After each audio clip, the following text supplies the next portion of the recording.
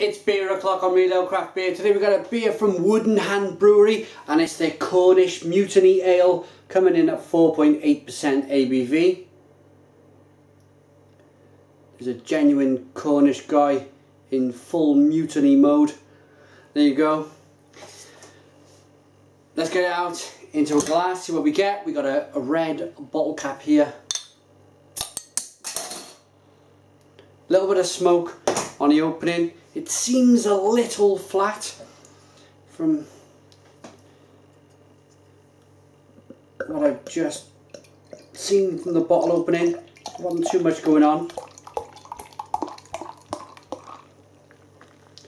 And that was a, a, a very kind of rigorous pour. We've developed a one finger, slightly off white head beer in the glass. It's a deep mahogany amber coloured ale, little hazy. Light carbonation would be the word. There you go, you can just see it there. Let's get the aroma on the beer. Oh, and it smells very good. Very good. Oh, loads of sticky, chocolatey coffee. Biscuits, freshly baked bread. Oh, this smells fantastic. Like a, a very well brewed best bitter. I cannot wait any longer. I have to dive into this one. Cheers.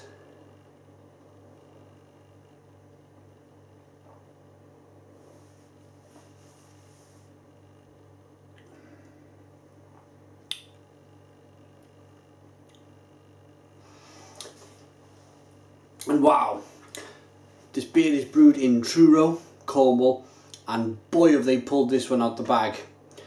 I've reviewed one or two of their uh, other ranges from their beer range. That didn't make sense. I've reviewed a couple of their other beers and they've been okay. You know, they've not been absolutely hitting the heights of real good beer, but this blimey, this is really good.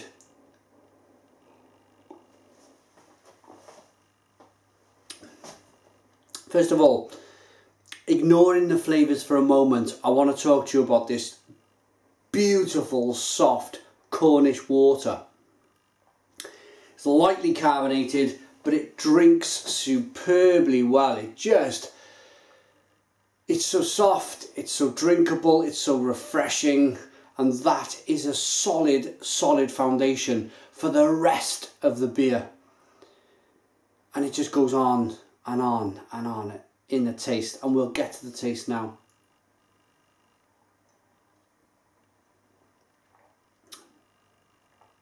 At 4.8% ABV, this is a premium ale, best bitter.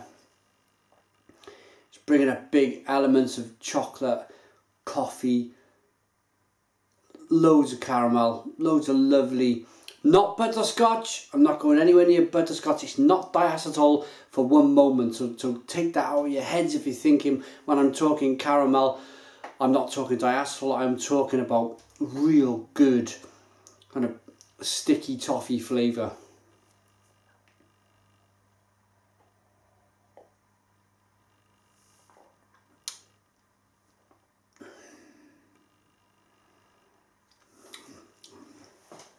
it's just really good. The carbonation I mentioned earlier, the, the when I poured the beer out, I was a little disappointed with the way it poured out. I was thinking, oh no, it's going to be a bit flat. Um, it is, in all honesty, it's November 2014, which is the 11th month. That's the 12th, so technically it goes off in a month's time so I suppose my worry there was the carbonation was was was the beer had just gone flat, but no. It's perfect. The carbonation levels are perfect. It's nice small bubbles. It's not enough to make you burp and fart and, and be uncomfortably bloated.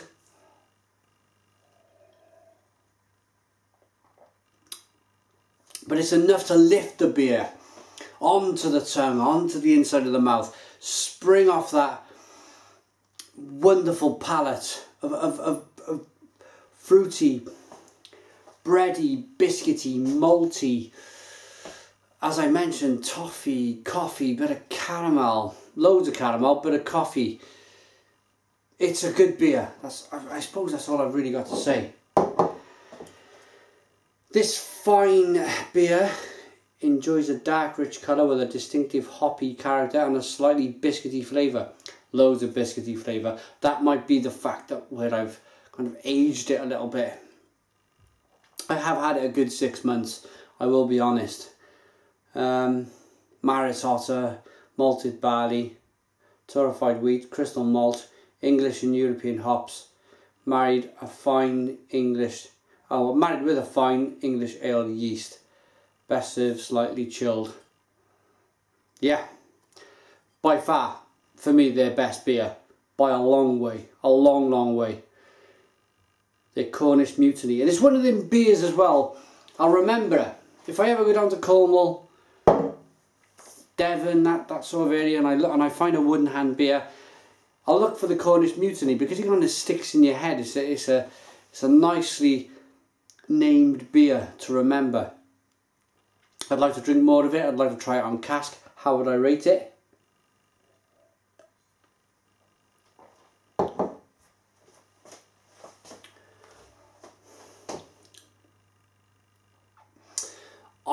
I'm gonna give it an eight out of ten. It's an eight out of ten. It's a, it's a it's a well put together beer.